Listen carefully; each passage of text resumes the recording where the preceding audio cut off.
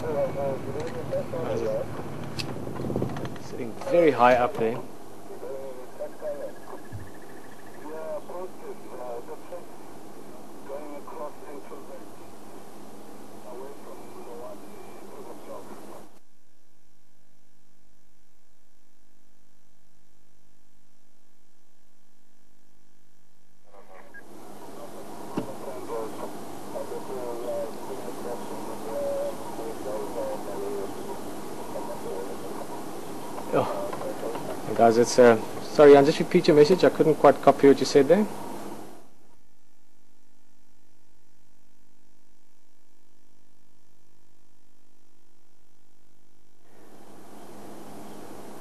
Guys, it's uh, sorry, we're just struggling, struggling a little with comms here. I think it might be a bit too much zoomed to use this, but I'll try. We're still getting used to the stick again. Let's see. Zoom out and then you can find it. Yeah. Okay, there he is. You see him all spread out now. It's difficult to realize the size of it because he's way up in the tree there. He's probably a good six meters, eight meters off the road. But um, it's a very large rock monitor lizard. Probably be about five feet long.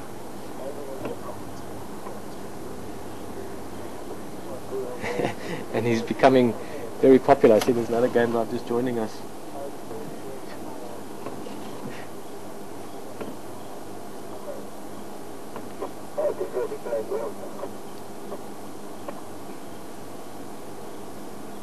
A little eye just watching us. Now, like I said, a lot of your reptiles in general tend to become very active this time of year, sort of late summer, early autumn, even late into autumn as well.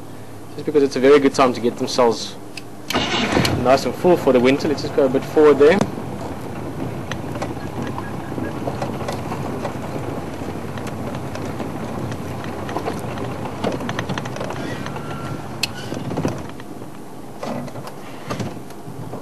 So what this guy is doing at the moment is just getting some nice sunlight, warming up a little bit.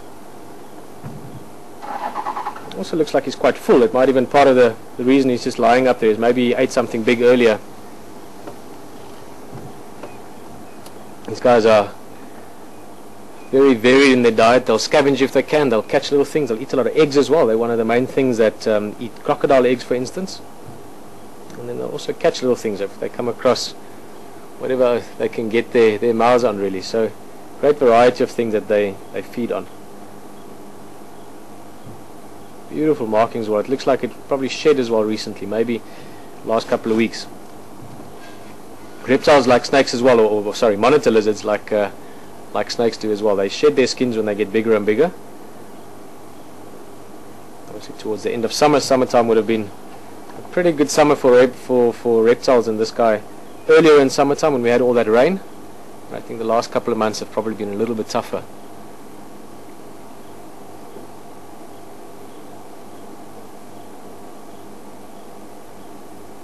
Oh, that is a very big one.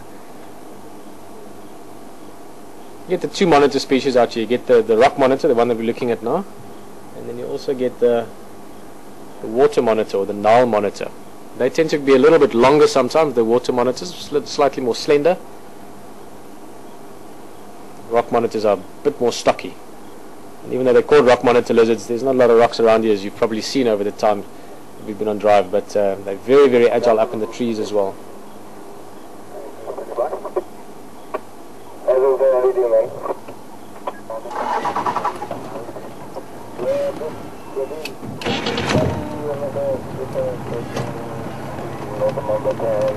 we're gonna gonna move on a little bit, so I think Charles and them also moving now. But look at that belly, sorry I'm sort of indecisive, there's a lot going on around, there's a couple of cars on the radio, but look at that belly, you can see nice and full, obviously splayed out over the branch as well.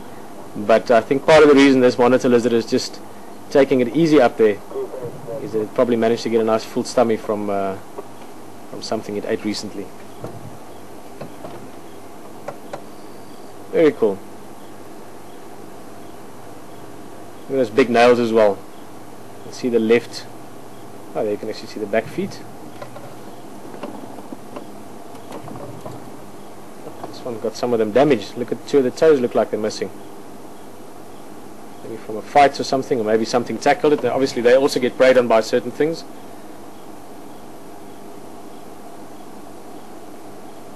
Monitor this size. Say probably the odd leopard you'll find might go for them. Um, young lions might be curious about them, but they can be quite vicious. They can bite, obviously very sore. Also that tail they use like a whip, so they can uh, chase away things as well.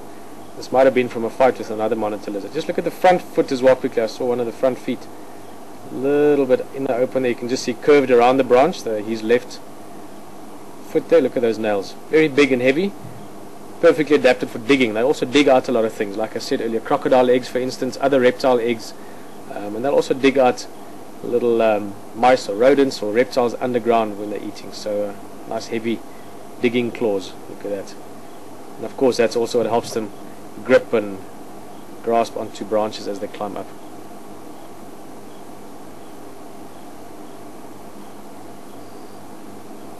And this one certainly needed that hold as he climbed up. You'll see just now as Alex comes out a bit, you'll see he's right up in a leadwood tree there.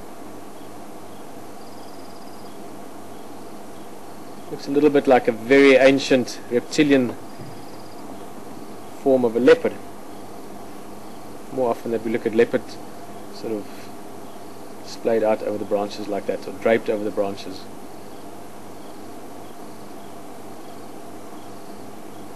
Way up in the tree.